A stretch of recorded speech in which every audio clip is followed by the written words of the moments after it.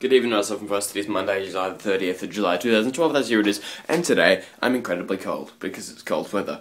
But did you notice that the camera was all like flippy floppy and tippy toppy? Well, guess what? I can't explain that, I just kind of suck, so I was like, woo! Today is Monday, and thus the first day of not being at school this week because of my suspension. Um, I will still be attending TAFE on Friday with Anthony, but that is not until Friday, because that is when I attend TAFE.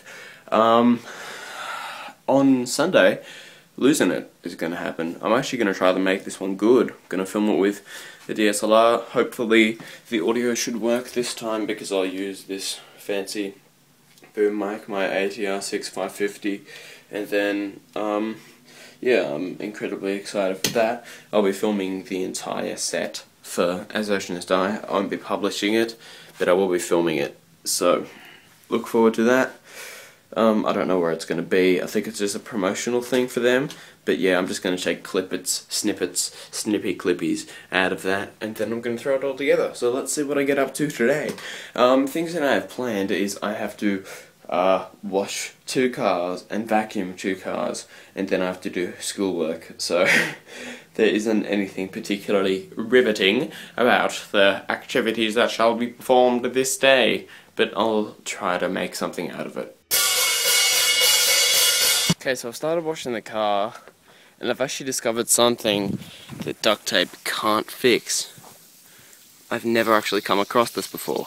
I cannot fix something with duct tape. This is ridiculous.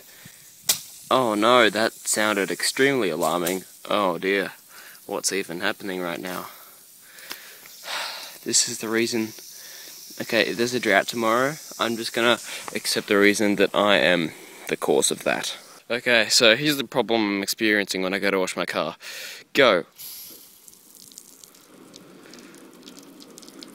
And the saddest little mechanical golden shower has occurred. Shit. Look at some exciting shit I got. Here we go. Um, liquid chalk markers. They're whiteboard markers, but they're for black whiteboards. That's right. So, for a slate, I can just write just like that, and it's fine. And then I got a really, I got a larger one too, which is great. Um, I can't get the cap on that, so I'll just leave it there. Uh, here we go. So this one's incredibly large.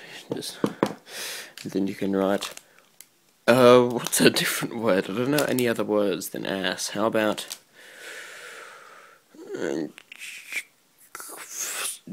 No. Perfect.